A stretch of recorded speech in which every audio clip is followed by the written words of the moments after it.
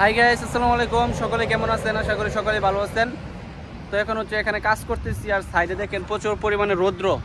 এখন রৌদ্রের মাঝে কাজ করতেছি। আর এখানে হচ্ছে একটি আর কি আপনার ক্যামেরা। লাগাল।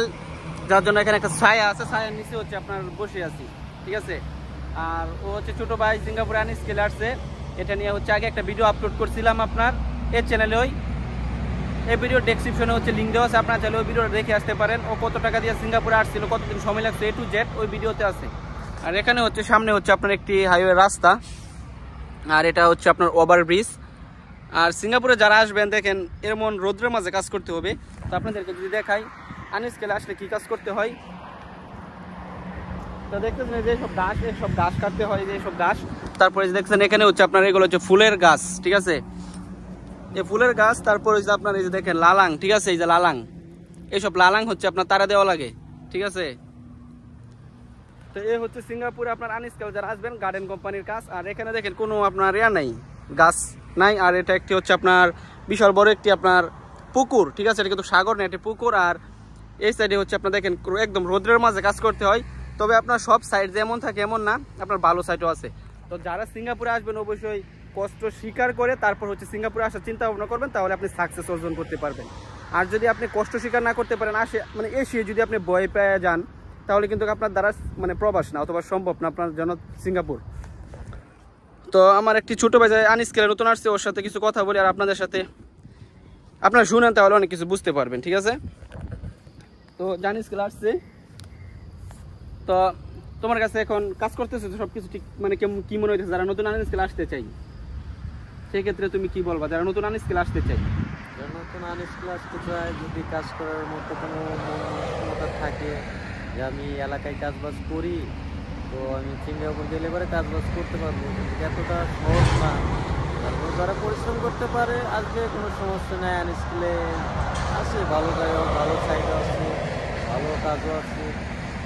আছে এরকম লোকজন থাকলে আছে কোনো সমস্যা নাই। জানতে জানতে আসবে। আর ওর বেসিক ষোলো ডলার আর ওর সিঙ্গাপুরে কিন্তু আপনার ষোলো ডলার আর আঠারো ডলার বেসিক ধরে আনি স্কেলে ঠিক আছে? তো আমাদের কোম্পানিতে ষোলো ডলার কিন্তু বেসিক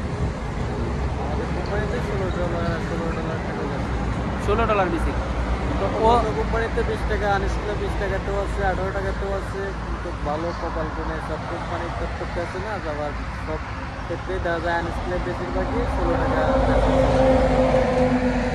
তোমার বেতন কত আছে? কিন্তু চার রবিবার কাজ করে আমাদের আমাদের কোম্পানিতে চার রবিবার কাজ আছে পাবলিক হলিডে কাজ আছে।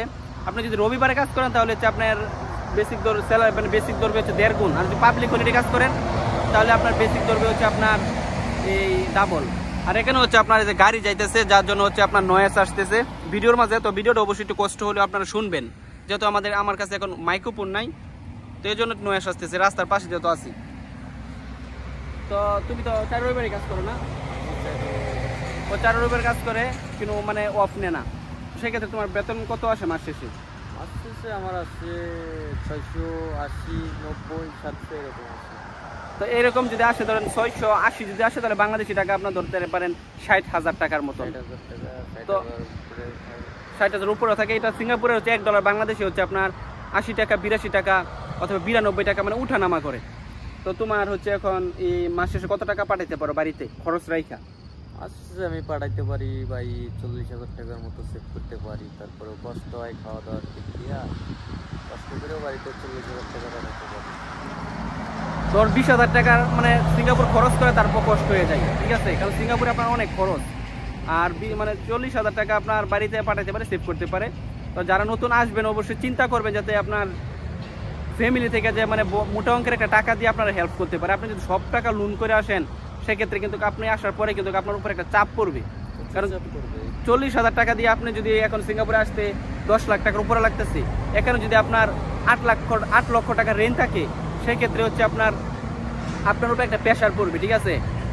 তো মানে যাদের অনেক টাকা রেন্ট করে আসতে হবে তার জন্য এখন সিঙ্গাপুরে না আসাই ভালো। যদি আপনার ফ্যামিলি একটা সাপোর্ট দিতে পারে টাকা দিয়া তো সেই ক্ষেত্রে আসতে পারেন ভালো হয়। কারণ তখন একটা চাপ থাকবে না ফ্যামিলি থেকে যত টাকা দিচ্ছে আপনি যত রেন্ট করেন নাই অথবা ব্যাংক থেকে লোন করেন নাই। নাকি? জি তো ও আসছে, ওর ইয়ার আপনাদের সাথে শেয়ার করলাম, আর যারা নতুন আসবেন, তারা আসতে পারেন, সমস্যা নাই কা। ভালো কোম্পানি দেখে আসেন। কারণ আমি মনে করি প্রতিটা ছেলেরই প্রবাসে আসা উচিত। এক বছরের জন্য হোক অথবা পাঁচ বছরের জন্য হোক। কারণ আমি পড়াশোনা করে যতটুকু না শিখছি বাস্তবতা লাইফ সম্পর্কে যতটুকু না জানছি, ঠিক আছে? দেখেন, গাড়ি যাইতেছে, যার জন্য হচ্ছে আমি কত স্টপ করে রাখছি। তো আমি যতটুকু না শিখছি, ঠিক আছে? আমি প্রবাসে আপনার আমার তিন বছর রানিং সিঙ্গাপুরে, দুই বছর শেষ, তিন বছর রানিং আমি তিন বছরে বিদেশে নিজের জীবন সম্পর্কে লাইফ সম্পর্কে আপনার অনেক অনেক কিছু শিখছি, ঠিক আছে? তো আমি মনে করি যে সব প্রতিটা ছেলের হচ্ছে প্রবাসে আসা উচিত। তার মতন আমার মতন ছেলে কিন্তু বাংলাদেশে আপনার বাবার টাকা উড়াইতেছে বাইক নিয়ে চলাফেরা করতেছে বন্ধু বান্ধবের সাথে আড্ডা মারতেছে গার্লফ্রেন্ড নিয়ে ঘুরতেছে, ঠিক আছে? সেক্ষেত্রে ও সিঙ্গাপুরে এসে ও পরিশ্রম করতেছে ফ্যামিলি চালাইতেছে। আমার জন্য হচ্ছে ওকে সেলুট ঠিক আছে? তো যারা বাংলাদেশে আছেন, চেষ্টা করবেন কারণ শুধু সিঙ্গাপুর না, যদি বাংলাদেশে কিছু না করতে পারেন, তাহলে চেষ্টা করুন ভালো একটা দেশে যাওয়ার জন্য। আমি সবসময় আমি এটা বলি যে আপনারা পরামর্শে আইসেন না, ঠিক আছে? কিন্তু আমি এটা বলি যে আপনারা আসেন, আসার পরে হচ্ছে আপনারা ভালো একটা মাধ্যম দিয়ে আসেন মানে ভালো একটা কোম্পানিতে আসেন, তাহলে ভালো হয়। অল্প কিছু, অল্প অল্প কিছু দিনে হচ্ছে আপনি সাকসেস করতে পার মানে সাকসেস অর্জন করে আপনি দেশে যে একটা ব্যবসা বাণিজ্য করতে পারবেন।